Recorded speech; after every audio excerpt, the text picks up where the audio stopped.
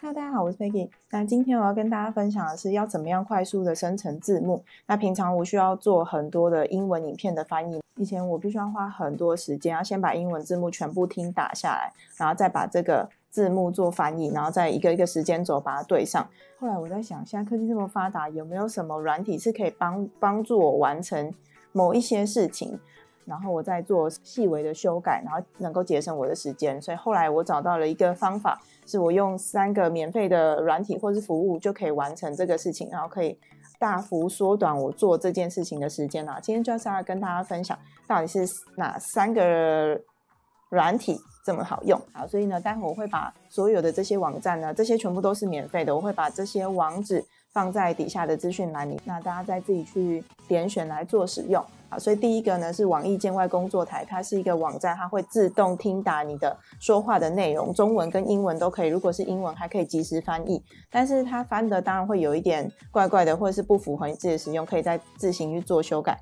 那可是这个网站呢，它是一个大陆的网站，所以做完之后呢，它会是一个简体的字幕出来。那我自己是很喜欢看繁体字的，我是看不太懂简体字，所以我需要再把它转变成繁体字。那我会再用另外一个网站，叫做纯文字简体转繁体，就很白话这个网站，用这个服务呢，把刚刚生成的 SRT 档转成繁体中文的字幕。那有了这个繁体中文字幕之后呢，我就会用 Arctime Pro 这个免费的软体。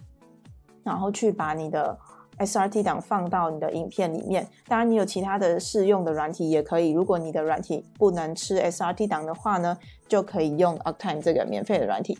所以接下来就来示范一下我平常都是怎么做的。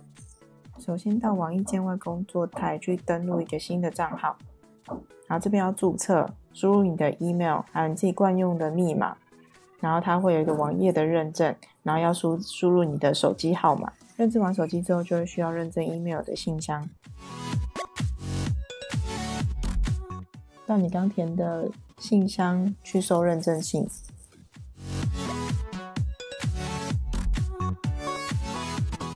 要到这个画面就表示注册完成了。再你回到网易见外工作台，然后点选右上角的新建项目。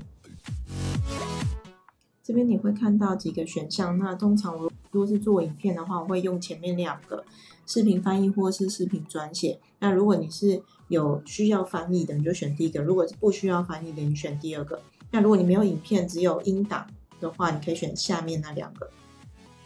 那这边就输入你的项目名称，然后上传你的影片。那这边你去选它是是什么语言要翻译的，然后提交。提交之后，他还说他需要一点作业时间，没关系，你就离开网页，你去做其他的事情，待会再回来。好，过一下你就发现这边已经翻译好了，之后你就进到这个影片里面。你先先听一段，然后你再去打打字。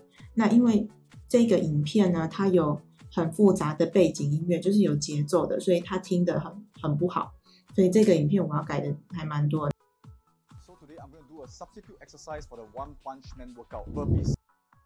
通常如果是没有背景音乐，它就会听得还不错。那就是接下来就是一行一行的去校正。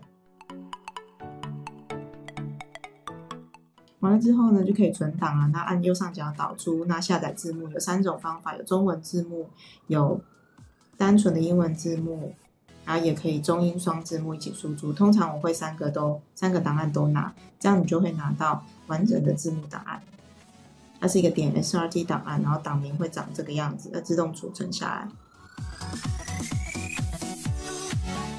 还要转成繁体，所以要再把这个档案呢传到这个繁繁简繁转换的网站，那它很快就会做好，是文字档而已。然后下来之后就会是这个样子。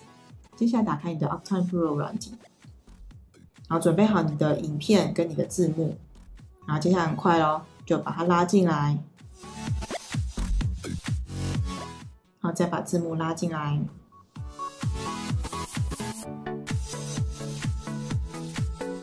然后按继续，按确定就好了。像字幕就已经自动会加，而且按照时间去排列。那有时候会不小心重叠，所以你点一个这个自动调整重叠，然后你再按 play，然后看一下，哎，这个字有点太大，所以我们可以去改字的样式，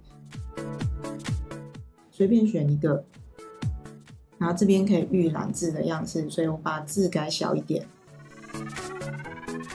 然后底下可以去改字的边。边框的颜色，或是宽度，或者是字的阴影，都可以在这边去做修改。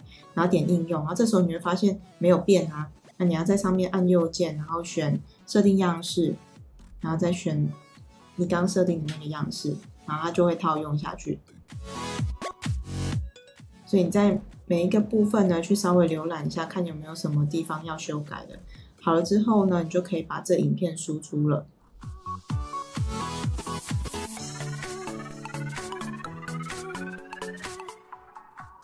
好，输出之后是一个 MP4 的档案，然后你也可以把字幕这个文件再输出一次。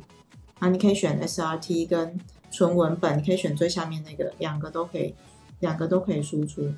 那 SRT 是有时间的，纯文本是没有时间的。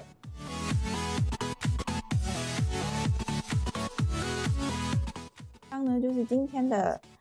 快速上字幕的教学，如果你有任何问题的话，可以在底下留言，然后我们可以一起讨论。如果你有任何更快速能够上好字幕的方法呢，欢迎也留言跟我说。然后不要忘记订阅我的频道，我真的要开始做影片了。然后如果你有任何想学的东西，都可以留言让我知道哦。那就这样了，我们下次见，拜拜。